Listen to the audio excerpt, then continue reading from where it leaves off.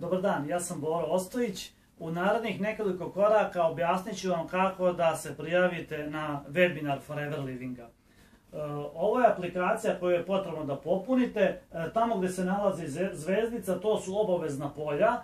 U donjem delu postoji još nekoliko polja koja nisu obavezna. Možete ih popuniti, a ne morate. Ja ću vam sad samo dati nekoliko smjernica za polja koja su obavezna. E, prvo polje ime pod, u, u kockicu gdje se nalazi ime, potrebno je da upišete vaše ime, ono što je specifično za našu strukturu i našu grupu, potrebno je u nastavku imena da dodate četiri slova. To je A, V, B, C.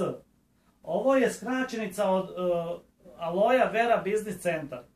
Ovo nam je potrebno da bismo vas lakše selektovali u grupi svih saradnika Forevera kada budemo radili naše sastanke i obuke koje su specifične za našu grupu. Ako imate ovaj nastavak AVBC, mnogo ćemo lakše da vas selektujemo iz te velike grupe Foreverovih saradnika.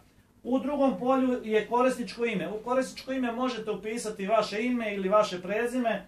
Uglavnom nešto napišite šta je karakteristično za vas. Lozinka, Izaberite jednostavnu lozinku, upišite jednostavnu lozinku u polje, u polje ispod gdje piše potvrda lozinke, potrebno je samo istu tu lozinku koju ste odabrali da je prepišete i druga dva polja su vaš mail.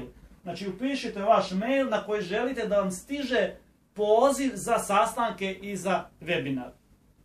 U drugom polju potvrda vaše, vaše mail adrese, samo još jednom ispišite vašu adresu da bi bila ispravna da se izbjegne svaka greška. Pa polja koja su ispod toga nisu obavezna. Kada se spustite na dno stranice, dole se nalazi e, dugme za registraciju. Znači kliknite na registraciju i vaša, e, vaša registracija će biti prihvaćena. E, ono što je bitno da samo sačekate poziv za sljedeći sastanak i webinar. Eto, to je sve bilo za danas. Hvala vam.